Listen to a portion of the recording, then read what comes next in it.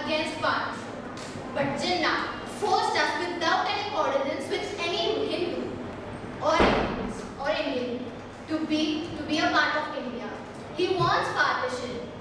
We have to frame a constitution now and instead we are busy in thinking whether we should have a partition or not. Leaders of the Muslim League feel that due to the lower numbers, they would not be given representation in any aspect they want a different nation.